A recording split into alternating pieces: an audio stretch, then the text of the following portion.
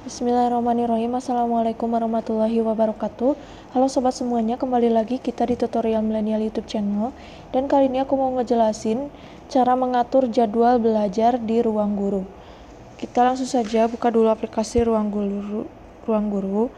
Lalu di sini di menu home kamu scroll ke bawah dan di sini ada jadwal belajar. Rencanakan kegiatan belajarmu dengan lebih mudah. Nah, kamu punya jadwal belajar, klik buat jadwal belajarmu. Nah, di sini ada pilih waktu dan mapel, biarkan kami yang menyusun jadwal belajarmu atau atur bisa mengatur sendiri. Nah, aku pilih dengan instan. Nah, di sini pilih mata pelajaran yang akan masuk ke jadwal belajarmu ada bahasa Inggris, matematika, bahasa Indonesia, PKN. Nah, aku pilihnya di sini bahasa Inggris saja. Klik lanjutkan dan pilih kotak untuk mengatur waktu belajar kamu. Nah, ini aku biasanya belajar dari jam satu jam satu jam no satu jam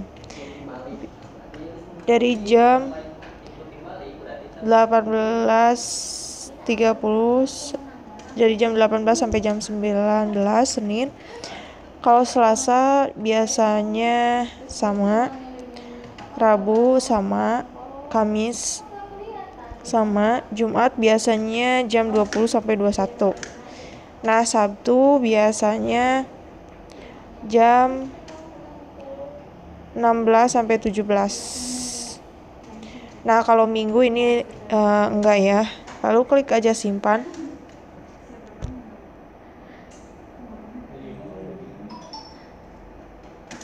Nah, kamu sudah berhasil menambahkan mata pelajaran dalam belajarmu nanti.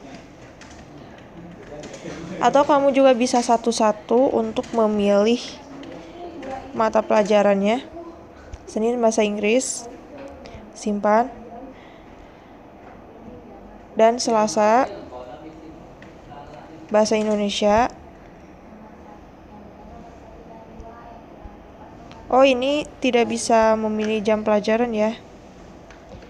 Jadi harus satu dalam seminggu.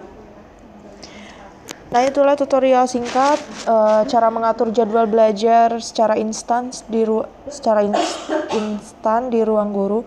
Semoga informasi ini menambah pengetahuan kamu dan jika dirasa video ini bermanfaat, mari support kami untuk tetap terus berkarya dengan cara klik like, subscribe, dan bagikan video ini ke teman-teman lainnya di sosial media lain seperti Line, Facebook, WhatsApp, Instagram, dan lain sebagainya.